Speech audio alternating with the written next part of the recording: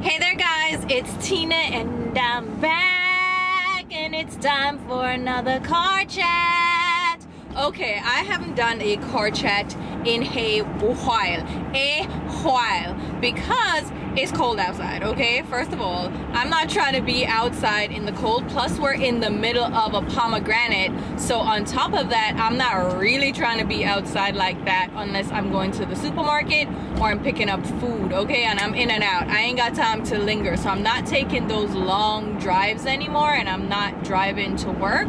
So, I am not in the car as much anymore. On top of that, all the snowstorms that have been happening, I'm not trying, no, listen, I'm not trying to be in my car being cold just to do a video, okay? I am very sorry. I apologize but no. And I cannot even imagine how people are dealing with this in Texas right now where they're not used to this kind of weather. Like I'm used to this in New York, like I can handle the cold or infrastructure is set up to handle the snow. We have, you know, municipalities that do the plowing and all that. So I don't know how they're even, I don't know, the disaster that is happening in Texas right now. I'm just praying for you guys. If you're in Texas, I hope you're staying safe I don't know, like, there's nothing I can do because the state is pretty much a disaster zone right now. So it's not like you can ship things directly there. So what I've been doing is trying to, to find um, different um, charities that I can donate to to help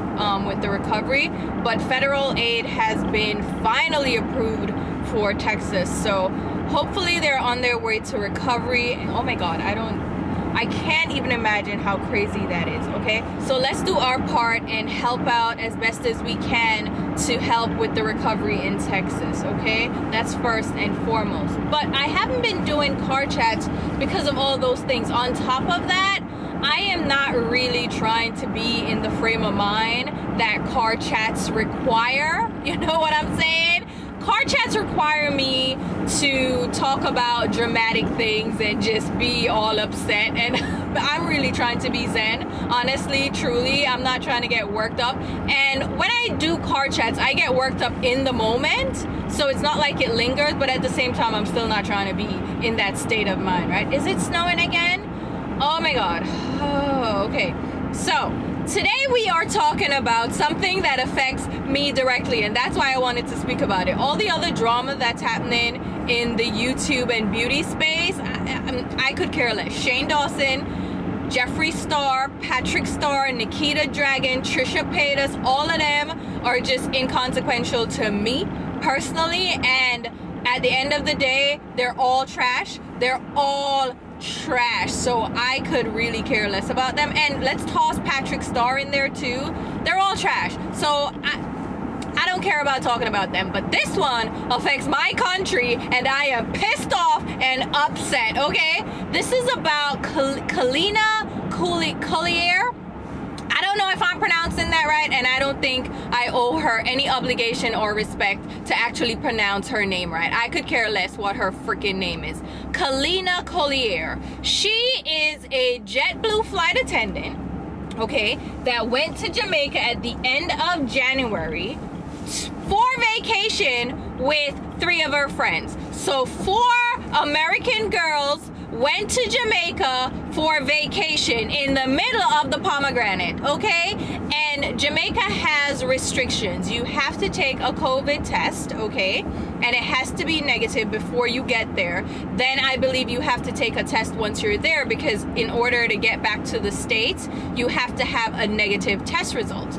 That is the travel restriction. I've checked this because I want to go home. I want to go see my people. You know what I'm saying? I want to relax. And I've checked the travel restriction and I'm like, nope things are still sticky i'm not trying to be out here okay so i know the restrictions she knows the restrictions she's a jetblue flight attendant she should be fully, fully aware of the travel restrictions to this country right but she took up herself and our friend them and them go to this to jamaica right? So they went to an all-inclusive resort. I believe it's the Orange Coral Springs or the Coral Orange Spring Resort, whatever it is, the resort is not at fault. Okay, so here she goes. She goes to Jamaica. She takes a test prior to going to Jamaica with a negative result. Then she takes the test in Jamaica at the resort. So they have to, again, have a negative test result in order for her to travel back to the States. So they take this test and it ends up showing a positive result. So guess what? Now she tested positive. She has to remain in Jamaica under quarantine for I believe up to 14 days or until she can um, present a negative result. Okay? This is the protocol. This is the policy. Read the fucking travel advisory. That's what it fucking says. So this dusty bitch, and I'm calling her out her name because I am pissed off again. I don't care. Okay? So this dusty bitch positive and they put her in quarantine and she was pissed off about that because she is not allowed to roam the resort and go freely. So she is mad at that. So she goes on instagram live and implies that she's being trafficked and held hostage at this resort. Her phrasing was that she's being held hostage held against her will Okay, this is what she said in her live, and people ran with it. Now all of a sudden she's being trafficked in Jamaica. Can you fucking imagine? Listen, the PR nightmare that that is for that resort for Jamaica on top of it? Are you fucking crazy? So because she tests um, positive, they're holding her, right? They're not holding you, bitch. You are in quarantine. I know you're in America and you feel like quarantine means you just have to stay home, but you can be out and about, do whatever you feel. Nah, that's not what quarantine is. Quarantine means you are locked down. Where you at? Stay in place. You are not allowed to roam around and be around people. You are locked down for the extent of the quarantine. That's what that means. Google it. What the hell is wrong with you? So she's on Instagram Live inferring that she has been kidnapped. It's pretty much what she was saying. So much so that a lot of people got a hold of it and there was a hashtag started that was like, I think, free Kalina or where is Kalina? Because after that Instagram Live, she kind of went radio silent. So no one knew where she was. People were like, oh, we haven't heard an update. We don't know where she is, blah, blah, blah, blah, blah. So she's on Instagram Live, right? Going off on the resort and the people there and going off on Jamaica. And she was painting the picture that she was in danger, like she was in a hostile environment, like they were holding her captive because she's saying that they have a security guard outside of her door. Uh, that the procedure, sweetheart. They're gonna have people outside the doors of people that are quarantined so that you just don't go wandering the grounds of the resort and exposing other people to COVID. And here's the thing this bitch is gonna talk about how, oh, um, I feel it within my soul, I feel it in my spirit that I don't have COVID. That's what she's going by, okay? Not the test, nothing. She's going by what she feels in her heart that she don't have COVID because she is asymptomatic. Now, if you know anything about this virus, there are people that will test positive and be asymptomatic, meaning you won't have a temperature, you won't have a cough, you won't have the symptoms. It ranges from being asymptomatic to mild symptoms to, uh, you know, being more sick and then really being sick and then to the level of needing hospital hospitalized. Wait, listen, I can't even talk. Hospitalization to the point where you can die. So there is a scale, okay? It affects people differently. So you can have a positive test result and have no symptoms at all, right? So they do the swab test on her. Then they're calling her to do another test. I think it's the PCR test right?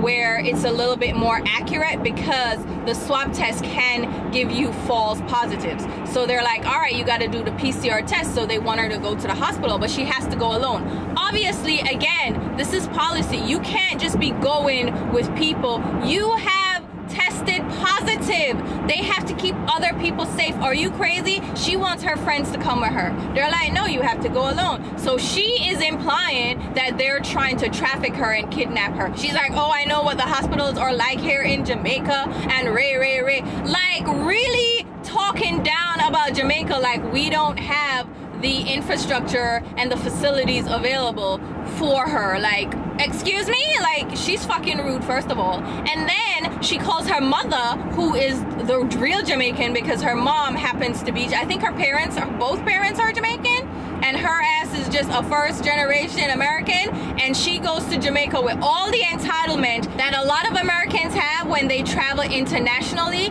They think pulling the I'm an American card is going to save them from any kind of consequences for their actions. Just like how when these fucking pieces of shit go to Asia, they, they go to China, they go to Japan, they go to Indonesia, they go all over the place in Asia where they have tight regulations and then they violate these people's laws and then when they get locked up, all of a sudden call the U.S. Embassy, I'm a U.S. citizen. Oh, you invoking that Karen real quick. It is so crazy to me that so many Americans, when they get in trouble, they all of a sudden become the whitest of white Karen that you can find, even though they're not even white. But guess what? Americans will switch it up real quick, okay, and become the privileged, entitled Karen that we have here in the States. Okay, listen, I've seen it in person, okay? I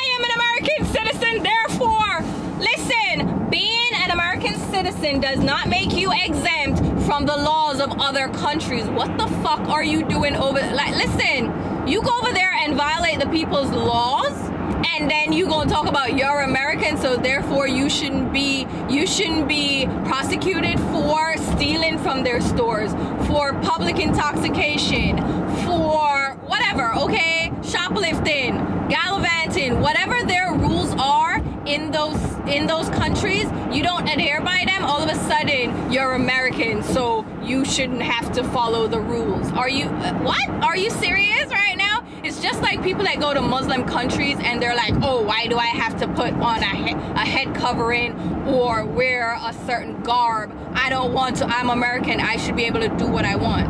No, if you're going to the countries, the first thing, I travel internationally a lot for my job, okay? Not anymore, but you know, for my job, the first thing we have to do is go through we have a travel advisory right for each country and it tells us like what to expect like the cultures the custom the dress the mannerisms, like what you're able to do and not do. There are countries where women and men, I know that I've been to countries where I don't shake the hands of the engineers that I'm meeting, right? Because I'm female, they're male, I'm not allowed to touch them. I know this, I have to figure this out. And this is available on any of the specific countries' websites. You can find these rules anywhere. So when you're booking your flight and you're booking your hotel and you're doing all this and your travel itinerary, part of that should be what are the rules, regulations, and customs of that country, okay? So you don't go over there and insult the people's culture and their country and their laws. So this dusty bitch go over there and I come create excitement as if Jamaica is beneath her. Like how dare they? I am American. Let me out. I don't have to adhere to this. Like, okay? And then she goes on to say, oh, I am, uh, I travel a lot. Like, she just get to work at JetBlue. She just get to work. She's 22, just get look at work at JetBlue, and all of a sudden she's a worldwide traveler. Well, if you were a worldwide traveler, if you were seasoned, you would know fucking better. But here she goes. She's like, I travel for JetBlue. How come I come to Jamaica and now I'm testing positive for COVID? As if they're giving her a positive test so they can kidnap her and trade her into what sex trafficking? Drug trafficking?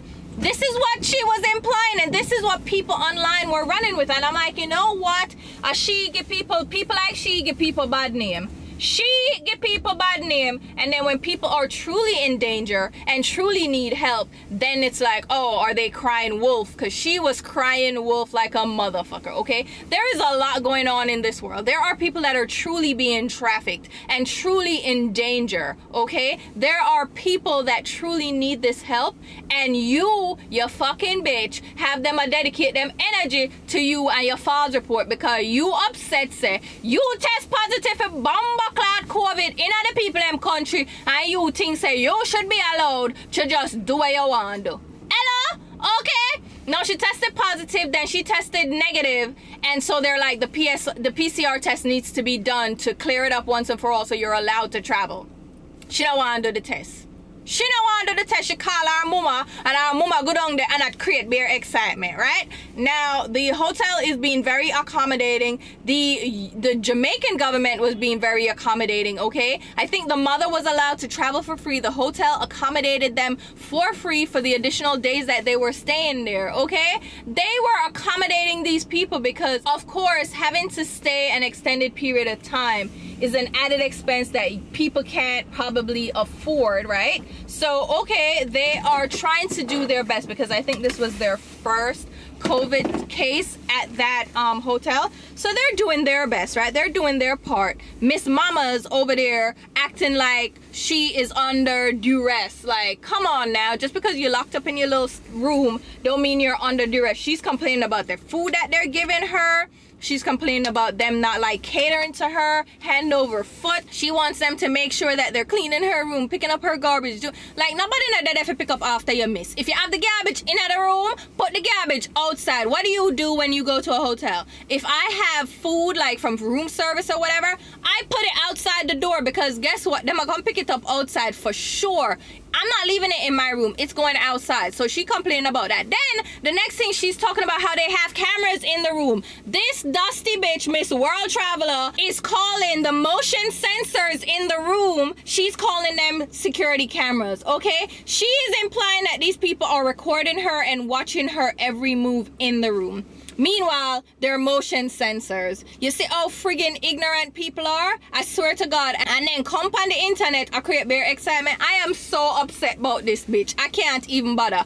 Next thing, them in at the airport now because finally she test negative and them must send them back because I'm tired of them because they caused havoc, okay? The Ministry of, I don't know if it's the Ministry of Travel. Me don't know. Me don't know what the ministry them call no more in Jamaica, okay? I don't remember, okay? The point is, the, P the government was involved. Okay, travel agencies were involved. The hotel involved. All of these people involved over this one dusty bitch who test positive for the COVID. Come on now, girl. Come on. You should have known better. You knew that was a risk that you were taking. You knew this, but yet you run got the people in country. And because them no want let you out because the US Listen, they have to adhere to the US regulations. You have to have a negative test to come back.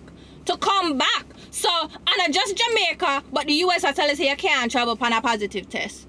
Mm, mm, and she create bare excitement. Listen, I'm just glad to JetBlue fire because she is representing JetBlue and she was she on her Instagram like her Instagram is public. She got JetBlue all over there talking about she's a flight attendant like Miss Miss I am sorry but um I kind of know the requirements for JetBlue flight attendants it ain't that high. So stop acting like you in this big position doing the most. Listen re relax. You can get trained to be a flight attendant. Everybody relax okay? And Menosa she that travel pan JetBlue flight benefits. So if you didn't know flight attendants and people that work for the airlines travel for free. They only have to pay taxes and free fee fees hmm?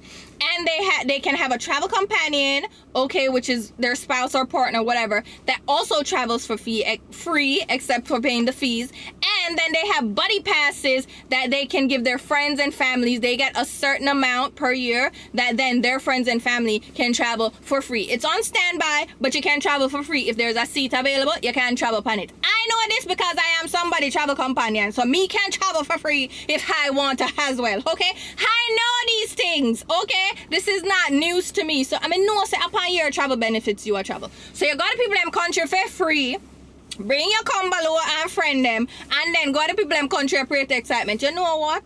You deserve to get fire. You deserve to get fire. As a matter of fact, you need to get banned from travel back to Jamaica. And you need to get banned from work at any airline. Because look all you carry on. Now, this is on your history, okay? Anybody can look you up and find out what you was out there doing, causing mischief and being a hot goddamn mess. So any other airline that is intending on hiring you, guess what, miss? You probably are blacklisted right now because you want to go to people country and act the fuck up. Now, I do believe that people who took this story and ran with it really blew this out of proportion and they're partially to blame as well because people are canceling trips to Jamaica because of this, okay? The outcry because Kalina, they were like, oh, free Kalina, drug trafficking. Ah!